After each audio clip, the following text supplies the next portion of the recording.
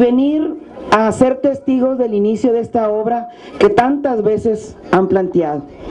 La energía eléctrica para esta zona, yo sé que siempre ha sido la preocupación de ustedes, porque además de algunas otras complicaciones que se tiene, sobre todo en esta zona ya de las flores y de la ampliación, este siempre fue el reclamo más amplio durante muchos años de todos y cada uno de ustedes. Yo le quiero agradecer a la Comisión Federal y al Gobierno del Estado este apoyo invaluable para que ustedes puedan tener mejor calidad de vida.